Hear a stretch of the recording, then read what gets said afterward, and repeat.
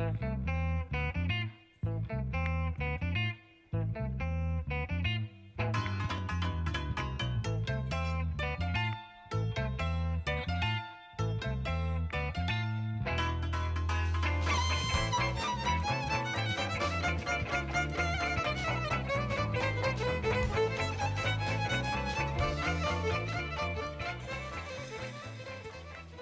put smo krenuli u Bezdan. Ovo naselje, koje je od mađarske granice udaljeno 8, a od Hrvatske 5 km, popularno se naziva vodeno naselje zbog kanala koji se ulivaju u Dunav i do njega se može doći jedino preko mostova. U stvari Zita me je nagovorila na ovaj put, kako bismo upoznale kajakaškog trenera Janoša Pandu, koji je sa ženskom ekipom osvojio zlatnu medalju na Londonskoj olimpijadi 2012. godine. Legendarni trener je sa svojim timovima osvajao bezbroj državnih, evropskih i svetskih prvenstava. Thank you.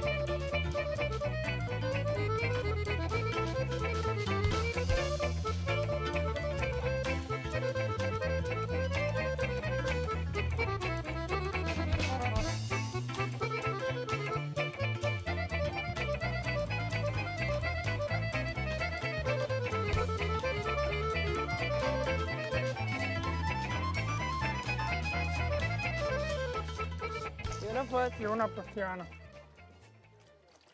Maga Panda János, ugye? Igen, Maga az edzőjük a kajakosoknak. hát én vagyok most az edzőjük, igen, ideglenesen. Helyettesítem a Panda Antóniát, az én lányomat, aki most az ő igazi edzőjük.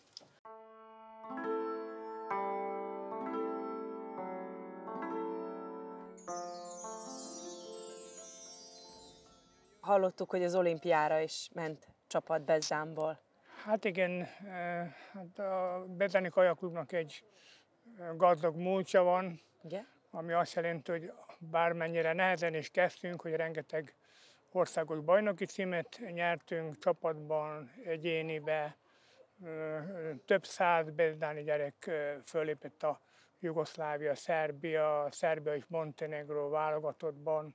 Világbajnoki, Európa bajnoki érmeket szereztek, és hát az utolsó olimpiára Londonban gyakorlatilag a komplett lány négyes, bezdáni lányokból volt, a Holbert Ervin a, a mi fiunk volt valamikor, még volt még egy az olimpián egy kézilabdázónk, a Cutorod Dalibor, de ő is ebbe korba kajakos volt. Kajakos volt. És milyen élmény, élmény volt magának a, a 2012-es olimpia, hogy végül is ugyebár Bezdán Hát nekünk az olimpia egy külön mese.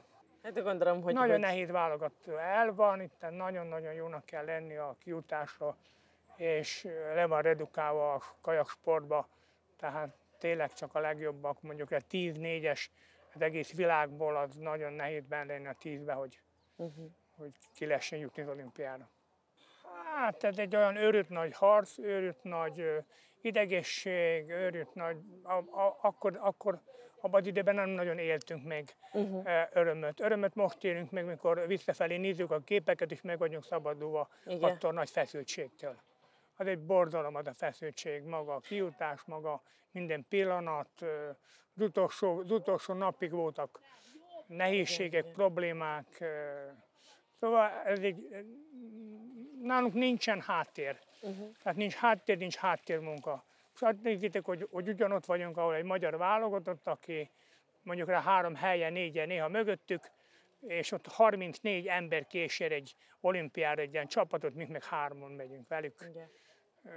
Rengeteg dolgot el kell készíteni, rengeteg dolgot meg kell csinálni, ottan is, meg előtte is, és az egy őrült nagy, őrült nagy gond.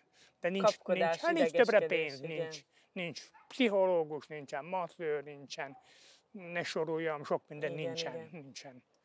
Sajnos ez van, ennek kell örülni, így kell elfogadni. És ez az új fia, és ez a fiatal csapat, aki most van, ez lát bennük akkor a kapacitás, vagy olyan tehetséget, mint, azok, mint a régi csapatban, hogy így egy olimpiai csapatot lát belőlük? Tehát a, az olimpiai csapat is három generációba állt össze. Uh-huh. Tehát minden generáció ki tud dobni egyet kettőt. Itt is van egy Hám Zoltánunk, aki olimpiai reménységeken érmet fogott, és csak 17 éves, vagy van itt, itt egy ilyen, egy ilyen Perovics Alexander nevezetű fiú, aki aki mondjuk rá idén minden pionírversenyt, 14-eset meg fog nyerni. De, hogy megsugjam, az a generációnál már a pionír a kadettoknál volt a legjobb, a kadett legjobb volt a junioroknál, tehát, tehát egy generáció előre legjobbak voltak. Igen.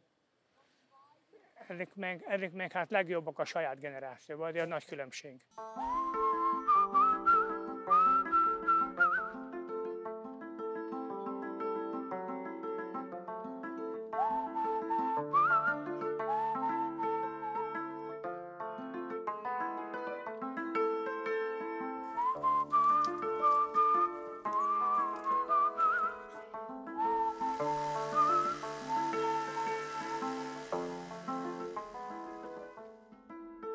Krenuli smo na mali vodeni izlet sa Aleksandrom Botkom, koji je veoma dobar poznavalac terena, pošto se bavi rečnim transportom.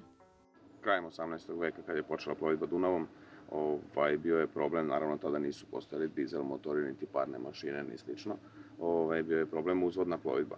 Tako da su oni koji su tada vladali ovim, ovim delom ovaj, Evrope, smislili način kako da plove uzvodno, pa je zamisao bila da se iskopaju kanali kojima, u kojima je voda stajaća, jeli, kojima će brodovi moći e, da se kreću mnogo lakše.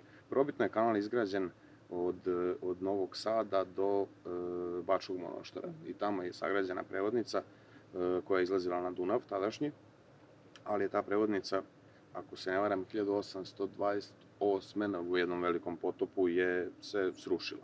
I ovaj, pošto je bila sagrađena od cigala, mm -hmm. od drveta i kako su se već kako su tada već gradili. Zbog toga su smislili da produže kanal do Bezdana i da 1853. započnu izgradnju prevodnice koja je prva izgrađena od betona, podvodnim betoniranjem ovaj, u Evropi.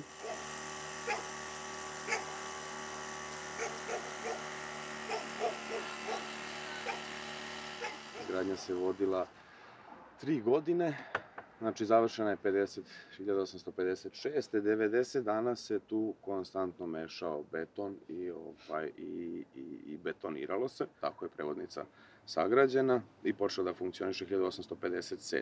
Prevodnica je dužine 63 metra, što ne odgovara današnjoj, današnjoj plovidbi nikako, odnosno gabaritima današnjih brodova, jer su generalno dunavski brodovi od 80 metara pa, pa nadalje. Mhm. Danas prevodnica, nažalost, nije u funkciji od ako se ne varam, 1994. je poslednje prevođenje mhm. bilo.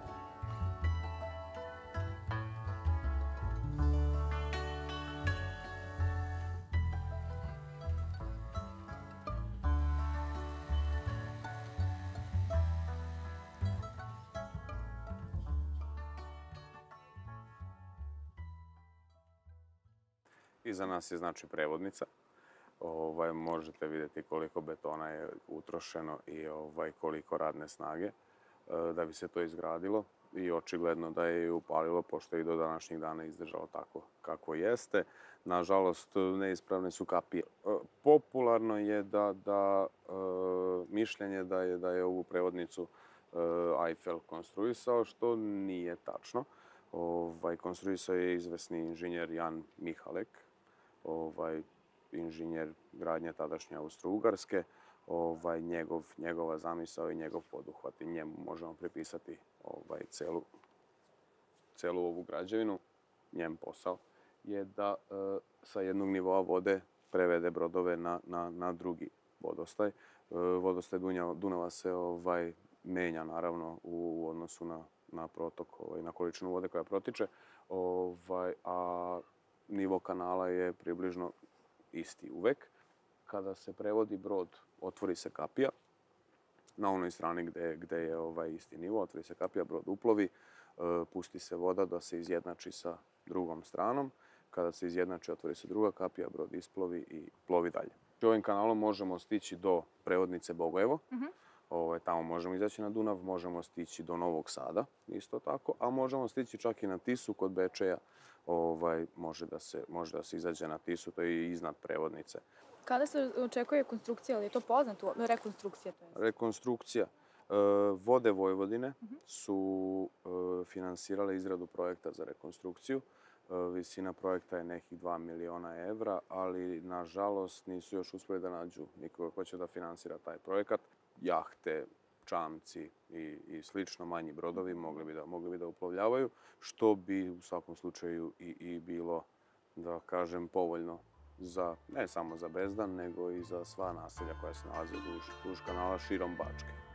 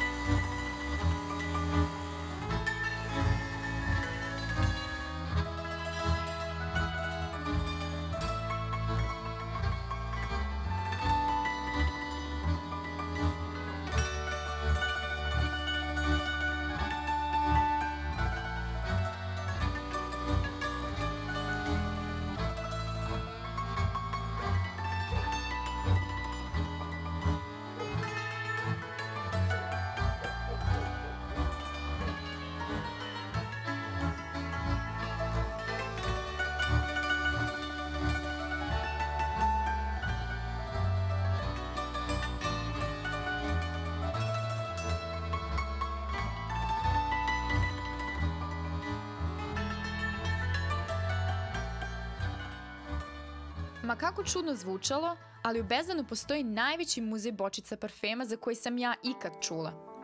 Pošto i Zita i ja obožavamo fine mirise, morale smo da ga posjetimo. Kada smo se Zita i ja dogovarale oko dolaska u Bezdan, prvo na što smo naišle jeste muzej parfemskih bočica, tako da nam je jako drago da smo ovde. I voleli bi da čujemo sve, sve što možemo u ovom mestu i kako su došle ove bočice ovde, koje su najinteresantnije Kako, šta se tebi kako čini? Kako si uopšte imala ideju? Počela ideja, da. da. Samo. Pa sestre i ja smo od uvek sakupljale. Još kad smo male bile, kad smo se pentralne na lavabo, da parfeme mirišemo što je mama posakrivala. Još od tada se javila ta naša neka ljubav prema parfemima i polako smo mi počeli da ih sakupljamo i to je već bilo nam je puna soba, pa jedna polica, pa smo onda počeli po hodniku da ih pravimo police i kačimo. Onda i to bilo puno. Onda smo jednu kompletnu sobu odvojile samo za njih. I izbacili smo goste. Mnogi pitaju koga ste izbacili s kuće, preko goste, bile je zabranjeno dolaziti. I e, onda su već počeli onako nepoznati ljudi da dolaze, jel možemo mi to da vidimo. I onda, pošto sam ja postala predsjednica turističkog udruženja, Vikend iz Bezdana, i odlučila sam da ih preselim u ovaj objekat i ujedno to je jedna atrakcija turistička koju treba posjetiti. Svakako. Tako da smo odlučile da našu kolekciju otvorimo za javnost i da je pokažemo.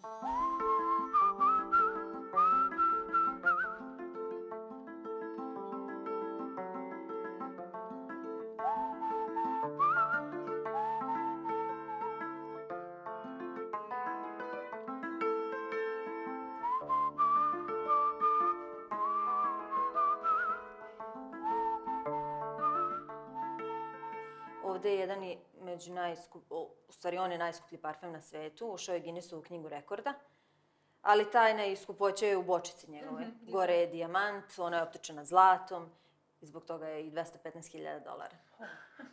Znači nije parfem toliko skup nego samo bočica? Pa da, ovo je moj omiljeni parfem. Mm -hmm. On pripada jednoj vrlo ekscentričnoj grupi parfema, možete ga probati? Iza svakog ovog parfema stoji priča jedna vrlo interesantna. Njegova priča je da je to iza tog jednog nevinog dečijeg osmeha, da se krije sam đavo i miris neprospavanih noći, kože i duvana. Tako da je onako parfem sladak, lep, lep, ali kao da ga nešto preseče onako u jednom momentu. Najstariji parfem, to je bočica parfema, ima nešto da Pa ima prastara ko, kolonska poljska kolonska voda, mm -hmm. ali uh, iz 1600 i neke datira prva njena formula, ali sad moja bočica je proizvedena možda jedno pre 30 mm -hmm. godina mm -hmm. i prestala se proizvoditi, ona je tu iza.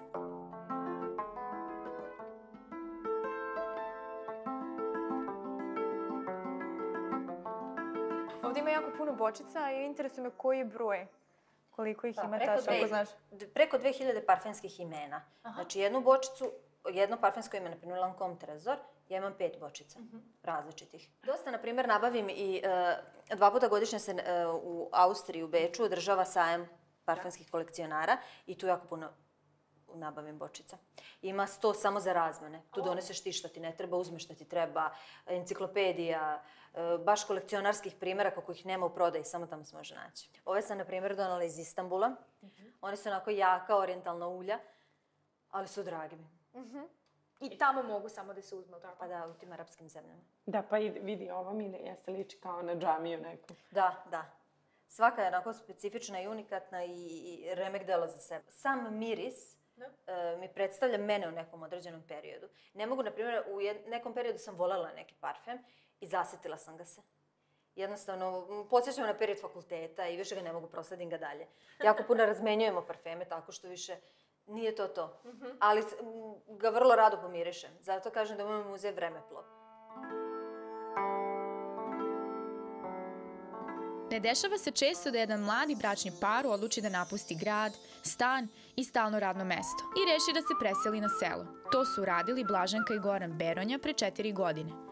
Nekadašnji novosađani sada žive u predgrađu Bezdana na idiličnom salašu, gde ljudi i životinje zajedno žive u harmoniji, a sve što uzgajaju je bio.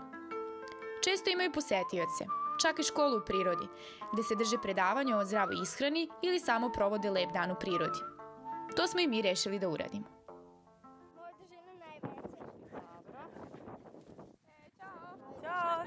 Dobar dan. E, Zdravo. Ne, ja mislim da se tamo stigli na vreme. Blaženka mi stigli. O, Ja se izvinjam. Meni se ruke od. Ovo je jedan novi pozdrav.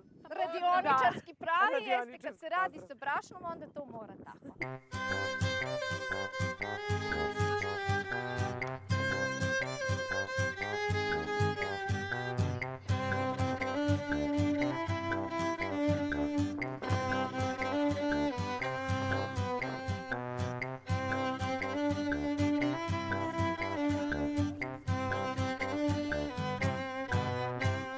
Blaženka, ovo testo koje izrađujete danas, to je malo specifičnije. Vidim da je drugačiji i boje, teksturač. Recept koji je tačno? Aha, pa vidite, znamo za ono tradicionalno testo. Da. Gde, ide, gde idu jaja, brašno. Dakle, na jedno jaje ide 100 grama brašna belog. Da. A mi ovde pravimo jednu malo drugačiju varijantu i evo drugari i ja učimo danas kako da napravimo integralno testo bez jaja, dakle posno. Evo mi smo za ovo naše testo stavili 300 grama pomešanog raženog, integralnog pšeničnog i belog pšeničnog. I stavili smo jednu notu Mediterana, to je ideja mog muža Gorana i mene. Dakle, stavili smo jednu kašičicu e, maslinovog ulja i ono daje onako jednu, jednu jako, jako e, finu nijansicu. Sledeći koraci su? Sada ćemo ostaviti malo da se prosuši i kada se prosuši mi stavljamo u prokuvalu vodu 12 do 14 minuta i onda ćemo da ručkamo. I ručkat ćemo sa našim domaćim krompirom i našim domaćim lukom. To je ono testo sa krompirom, Krompirom. čuveno vojvođansko. I eto, nadam se da će, da će vam se dopasti naša klupica.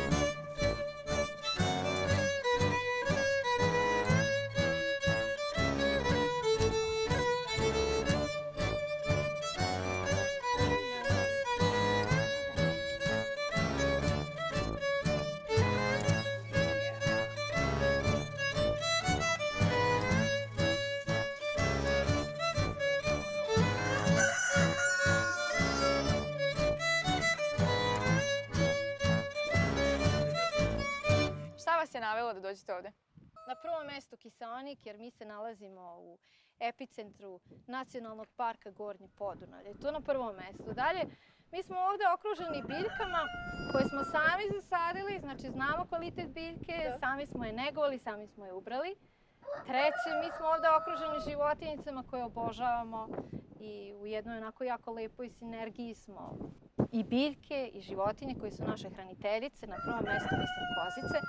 Mislim da su ova tri razloga onako najbitnije, ali ima još mnogo, mnogo toga. Koliko ste dugo već ovde? Na ovom imanju? Pa sada teče četvrta godina. Četvrt. I u planu imate mnogo toga. Pa jeste, planovi, e, planovi se stalno u stvari i menjaju, ali ovaj, ono što su nekako one glavne pozicije, to jeste upravo naš kozi i sir. Na prvom mestu o tome može Goran jako mnogo da priča, pošto je to njegova pasija. Pored muzike, moja pasija su i sirovi, kozi. Pravimo sireve od plamenitih plesni, od plavih i belih. i po tome smo redki u našoj zemlji i čak i u širem regionu koji se time bave. Mi nismo zapostavili naše sedelačke radove, iz, odnosno poslove iz grada i dalje se mi bavimo i transkribovanjem, malo prevodima, mhm. dizajnom i tako dalje i to nam je jedan od, od zaradni, od, od delova zarade svakako, ali sa druge strane naučili smo mnogo toga. Mi smo to nazvali životne veštine. Samim tim smo razvili u stvari i jednu varijantu agroturizma uh -huh. i u, tome, u tom pravcu isto ovaj, jako idemo. Mi imamo poseta možda svaki drugi, treći, četvrti dan. Ali imate goste Jeste, ljudi naprosto vape za prirodom, za dodirom sa životinjama, onako za jednim opuštanjem, a toga ovde zaista ima. I otkud to da, da baš bezdan ste odabrali za ove mesto? Pa mi smo mnogo, mnogo uh, lutali po Vojvodini, znači vozikali smo se okolo, bilo je par, par, par sela u, u, u našem razmatranju, da. ali kad smo ušli u Bezdan, kad smo videli sve ove kanale i ovu vodu, pošto smo mi novoseđani, Znači morala da bude neka voda, da li je to Dunav, da li je kanal, da li nešto. Uh, odmah smo se zaljubili kad smo prošli kanalskom ulicom. Da, I, kako, i kako su malo da. posmatrali ljudi po, ovaj, po ulicama i tako čini se nam se prijatno. I u jednom momentu smo seli na mol i proletele su kajakašice, olimpike bezdanske i rekli smo to je to.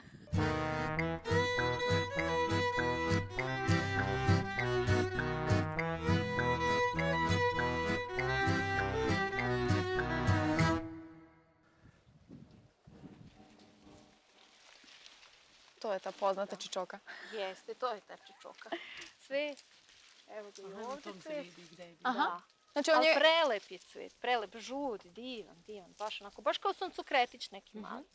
Mini suncokretić. Ja dugo, dugo nisam ni znala da je to lekovito bilje i, i da se jede i da se koristi uopšte u ishrani. Nju takođe zovu i krompir za siromaše. Aha. Vidjet ćete zašto i jako je dobro zbog toga što mogu da jedu i vegani, dakle može sveže da se jede, ali možete da je pripremite kao salatu, može da se prži kao mladi krompirić, uh -huh. jako je ukusna. Ali ono što je jako bitno to je da, kao što sam rekla, ovo korovo ima svugde, a u stvari samo u ovom korovu postoji takozvani insulin koji uh -huh. je mhm. neophodan za ljude kojima je neophodan, opet sa druge strane insulin, ali svakako da možete da ga jedete kao preventivu. Mene ovo posjeća na džumbir, a zapravo to je čičoka. Da, da, pa često se ljudi zbune, ali zaista nije džumbir i vidjet ćeš po mirisu da, da je potpuno drugačiji, ali probat ćemo ovaj očišćen, pa ćeš da vidiš da je ukus potpuno drugačiji. Ajde. Ništa dobro. Jako je krskao. I podsjeća na rotkicu.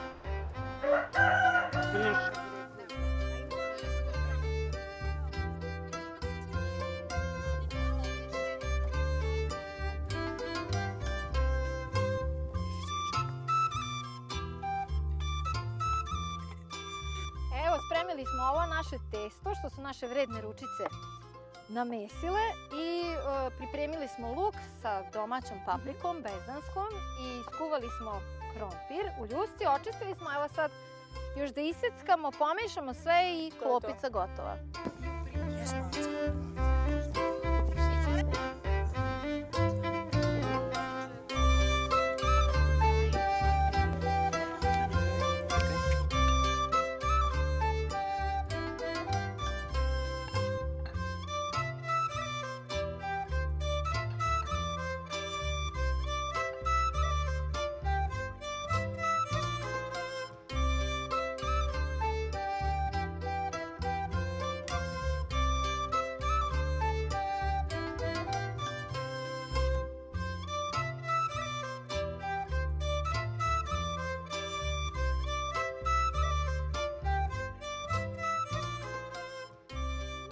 Ajde vi prvi sportisti, vi trebate ajde. sad da. Ajde.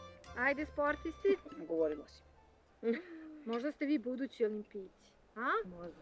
A to ćeš nam obećati. Može biti, ali ne mora da znaš.